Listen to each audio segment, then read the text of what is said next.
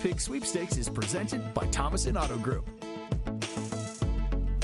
Each Wednesday at this time, we share some of your best photos featuring your beloved pets. And you can upload more through the Play tab on our website or app. Now, let's pause for tonight's pet pics.